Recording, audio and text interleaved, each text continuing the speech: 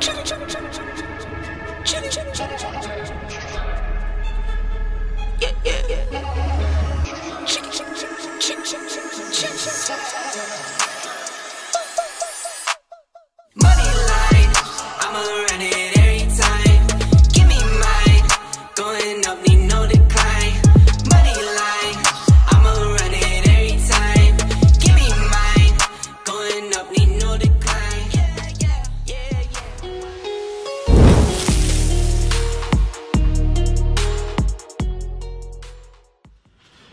Herkese merhabalar arkadaşlar. Ayakkabı Dicey kanalında yeni bir videoya daha hoş geldiniz. Bugün çok farklı, çok özel ve güzel bir video sizleri bekliyor. Evet arkadaşlar bugün şu anda farklı bir ayakkabı tutuyorum elimde. Zaten sizler de başlıktan gördüğünüz gibi. Abi sen bu ayakkabıyı nasıl aldın? Bu ayakkabıyı gerçekten aldın mı gibi sorular gelecektir muhtemelen. Hayır arkadaşlar ben almadım. Fakat elimde tutuyorum. Nasıl oldu? Hemen hikayesiyle başlayayım. Sebo Göndür'ü bilirsiniz. Hem çok iyi arkadaşımdır hem de kendisi iyi bir YouTuber. Onun kanalını mutlaka takip etmeyi unutmayın. Muhtemelen videonun sonunda da zaten onun görüntülerini izliyor olacaksınız. Onunla anlaştık. Böyle birlikte güzel bir video çıkartacağız. Kendisi bu tarz ayakkabıda biliyorsunuz alıyor. Koleksiyonunda da var. Yine bir tane alacakmış ve alacağı yer Ankara'daymış. Daha sonra işte beni aradı böyle böyle ben bu ayakkabıyı alacağım. Hani gider bakar mısın? Hem kontrol etmiş olursun hem de belki video çıkartırsın dedi. Ben de dedim hay hay kardeşim ne demek? O şekilde arkadaşlar ben gittim aldım. Şimdi sizlere videosunu çekiyor olacağım. Ve yarın sabah hemen bunu kargolayacağım İstanbul'a. O da sonra giyip birkaç görüntü çekecek. Videonun sonunda dediğim gibi o görüntüleri de görüyor olursunuz. Bu resell arkadaşlar. Bunun üstüne de belki konuşulabilir. Hatta bunun üstüne birkaç video yapasım bile var düşünüyorum.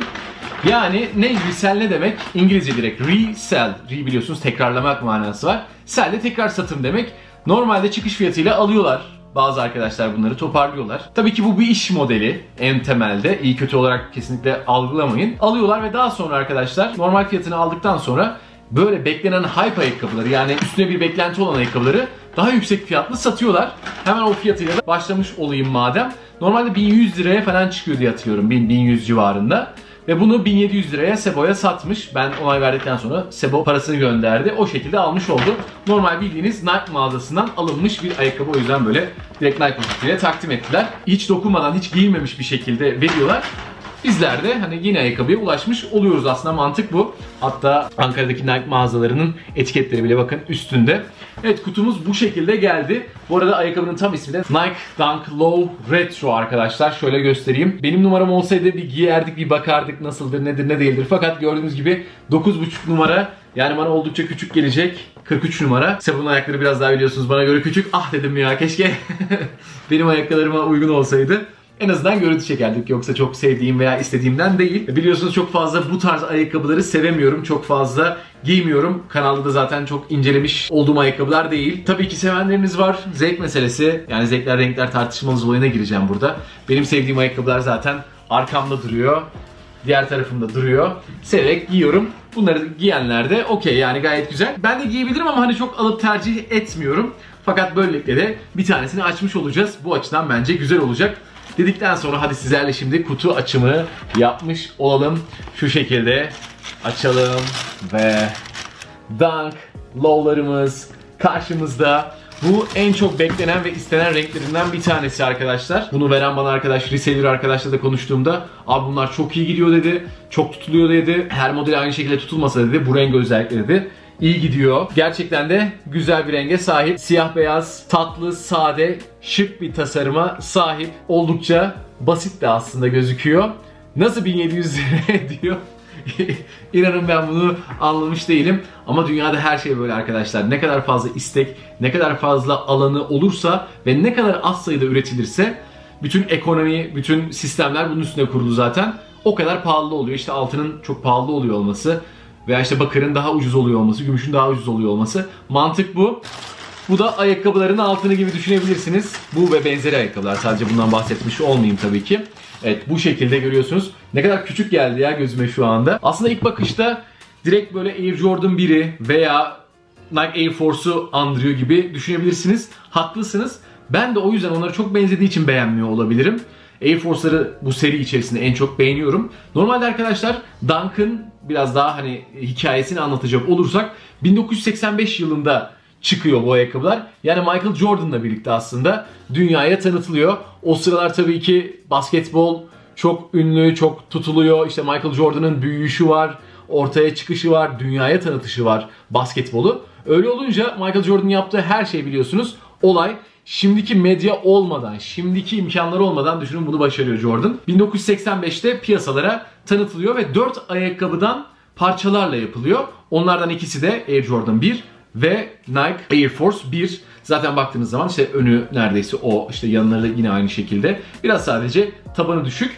Ben inanın bunu Air Jordan 1 ile çok ayırt edemiyorum yani dışarıdan. Hani çok da fazla e, sürekli bununla alakalı hani bunu çok beğenmediğim için veya almak istemediğim için herhalde diye düşünüyorum. Böyle çok ayırt edemiyorum yani benim gibiler vardı diye tahmin ediyorum. O şekilde 1985 yılında çıkıyor ve basketbol ayakkabısı olarak çıkıyor. Kesinlikle kesinlikle ama basketbol oynanabileceğini düşünmüyorum bu ayakkabı içerisinde. Eskiler nasıl oynamışlar helal olsun. Ve daha sonra arkadaşlar 1900'lerde, 2000'lerde artık bu kaykaycı ayakkabısına dönüyor. Daha sonra Dunk SB kısmı da var. O da e, ufak tefek farklılıkları var. Ve yıllar boyunca gitgide gitgide gitgide farklılıklar geçirerek günümüze kadar geliyor. 2020'de 2021'de tekrar piyasaya çıktı. Özellikle sanki bu sene çok fazla e, üretildi gibi hatırlıyorum. Hani farklı farklı renkleri piyasaya tekrar tekrar çıkartıldı. Öyle olunca güzel de bir pazarlamayla zaten iyi satıyor. Mağazaların önünde sıra oluyor arkadaşlar çıkar çıkmaz bu ayakkabıları toparlayanlar, alanlar işte böyle bu tarz reseller'lar baya baya bu işi e, ciddi şekilde takip edip alıyorlar. Açıkçası bu resell mantığı yani çok istediğim bir ayakkabı benim bu kadar olmuyor zaten. İstediklerimi de ulaşabiliyorum. Ama gerçekten istediğim olsaydı ben de alabilirdim diye düşünüyorum. Sizler alır mıydınız, alır mısınız? Tabii ki herkes bütçesine göre bir yorum yapacak muhtemelen burada ama genel mantalite olarak hani birisi almış ve size daha pahalıya satıyor. Sizin için okey midir değil midir? Yorumlarda belirtirseniz sevinirim. Hafif böyle bir konuşma havası, tartışma havası oluşursa güzel olur. Amerika'da özellikle bu işler tabii ki efsane iyi. Yani Türkiye'de o kadar daha büyük değildir diye tahmin ediyorum. Orada çok çok daha büyük skalalarda yapıyorlar ve tam anlamıyla iş olarak yapanlar var. Hatta belki videolarında denk gelmişsinizdir. İşte böyle evler tavana kadar ayakkabı dolu. Bir ayakkabının bütün modelleri, bütün renkleri, bütün işte numaraları alınmış ve belki birkaç yıl saklanıp sonradan satılıyor. İşte 100 dolara alıyorlar, 1000 dolara, 2000 dolara, işte bazı ayakkabılar 30 bin, 40 bin dolarlara kadar hatta çıkabiliyor. Bu tamamıyla bir iş yani arkadaşlar. Türkiye'de bu kadar büyük paraları verecek insanlar olduğunu düşünmüyorum. Mantığımıza çok bir kez uyduğunu düşünmüyorum zaten bu resell mantığının. Hani bizler çok para vermeyi seven insanlar değiliz. İndirim kovalayan insanlarız. Daha ucuza alalım. E, olsun ucuz olsun mantığıyla e, babalarınızdan, kendi babamdan yani düşündüğüm zaman mantığımız bu. Özellikle ayakkabıları bu kadar büyük paralar harcayacağımızı düşünmüyorum. Tabii ki ünlüler var, işte basketbolcular var, imkanı olanlar var. Mutlaka ama her satılan şeyin bir de alıcısı olduğunu düşünüyorum. Bu ayakkabıların da aynı şekilde yine bu yani 100, 1100 alıp 1700'e satmak okey ama dediğim gibi yurt dışında bu işler hani 10 katı, 20 katı belki daha fazlasına satılabiliyor. Özellikle Yeezy'lerde bu çok oluyor. İşte Air Jordan 1'lerde oluyor. 4'lerde bu retro modellerinin farklı farklı daha limited versiyonları, daha limitli versiyonlarında çok fazla oluyor. Evet bu ayakkabımız da bu şekilde arkadaşlar. Biraz daha özelliklerine bakalım. Sonra ben videoyu sonlandırayım ve bu ayakkabıyı Sebo'ya göndereyim. O da bize güzel güzel kombinler yapıp video atsın. İlk başta üstüne baktığınız zaman bu biraz daha şişik şişik kalın kalın ve kaliteli duran bir üst katmana sahip. Şu görüntü pek hoşuma gitmiyor. Onu söyleyeyim. Her işte Air Force'da Jordan 1'de de buna benzer yapılar var. Delikli hava alabilir bir kısma sahip. Şu ön kısım zaten hepsinde aynı. Daha sonra bağcıklar ve arka kısma baktığınızda şuraları hoşuma gitti. Şişik şişik kaliteli bir his veren deri yapılmış.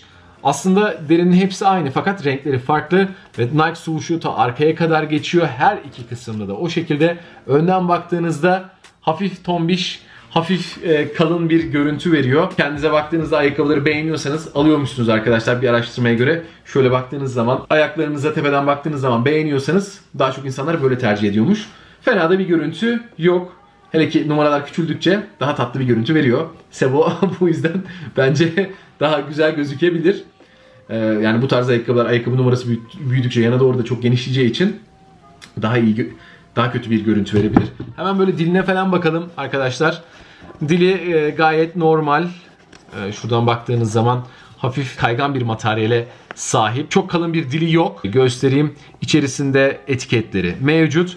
Arkasında Nike yazıyor ve burada dikişli bir görüntü ile hafif bir süs verilmiş. Çok sade, çok basit, ince bir tabana basıyor ve altında da yine ikonik bu taban yapısı. Birçok ayakkabıdan da tanıyacağınız gibi. Evet gayet güzel, sade, hoş bir ayakkabı. Birden fazla deliğinin olması sizlere biraz daha bağcıklarınızda daha sıkı veya daha bol fitler yapmanıza yardımcı oluyor. Ben bu tarz ayakkabılarda bir defa hani bağla ve ömür boyu giy kafasındayım. Tabii öyle olunca da bir sefer arkasına basıp arkasını kırma imkanınız var.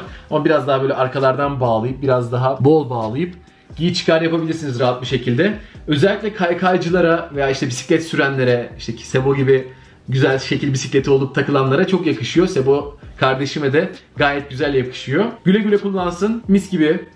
Hiç giyilmemiş, hiç denenmemiş. Hala içerisinde yapışkan kokusu olan güzel bir ayakkabı. Güle güle giy kardeşim. Bu şekilde de incelememizi, ön incelememizi yapmış olduk. Bunlarda tabii ki çok bir performans incelemesi mümkün değil. Ama sizlerin böyle görebilmesi için en azından bu kanalda da böyle bir videonun bulunması güzel olacak. Sebo'ya da teşekkür ediyorum. Bu fikri bana verdiği için ve bu şekilde ayakkabıyı ayarladığı için. Ben de yarın dediğim gibi kargosunu yapacağım. O da bize güzel kombinler yapıp gönderecek. Güle güle giy kardeşim. Güzel zamanlarda giy. Ayakkabına taş değmesin inşallah. Bir sonraki güzel videolarda görüşmek dileğiyle diyorum arkadaşlar. Kanala abone olup like atıp yorum yapmayı unutmuyorsunuz. Şimdi ise bunun sahneleriyle devam ediyor olacağız. Ayakkabı dahisi bugünlük out.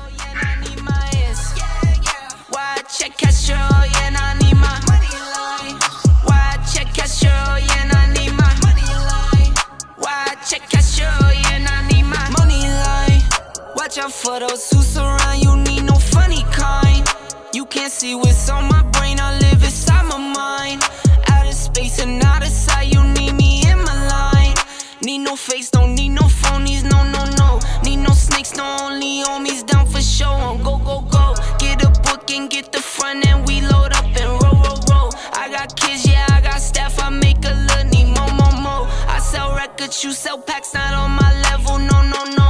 I'm a pop star, I'm a rock star, I'm a winner, win. Think I'm not hard, you smoke rock, Gençler herkese selam. İstanbul stüdyosundan bağlanıyoruz ayakkabı dahisine. Ee, sağ olsun kardeşim e, ayakkabıları bana yolladı. Ben de şimdi size küçük bir e, kombin önerilerinde bulunacağım. Nasıl giyebiliriz? Dunklow'ları ben nasıl tercih ediyorum?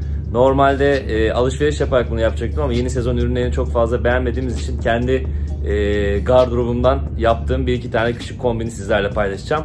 Size küçük küçük önereceğim. Bence bu ayakkabılar son zamanlarda ee, evet çok hype'landı ama çok güzel kombinler çıkartılabilecek bir ayakkabı. O yüzden umarım beğenirsiniz. Beğeniyorsanız mutlaka aşağıda yorumlarda belirtin. Biz de belki devam eden sürelerde, e, Hoca Burakcan Hocam da burada şu an, e, devam ederiz bunları yapmaya ayakkabı dahisiyle birlikte. Mutlaka yorumlarda belirtin. Daha fazlasını görmek istiyorsanız benim Instagram hesabımda da ben birkaç tane post paylaştım. Onlara da bakıp kendinize örnek alıp veya esinlenip yeni yeni e, kombinler yapabilirsiniz. Umarım beğenirsiniz.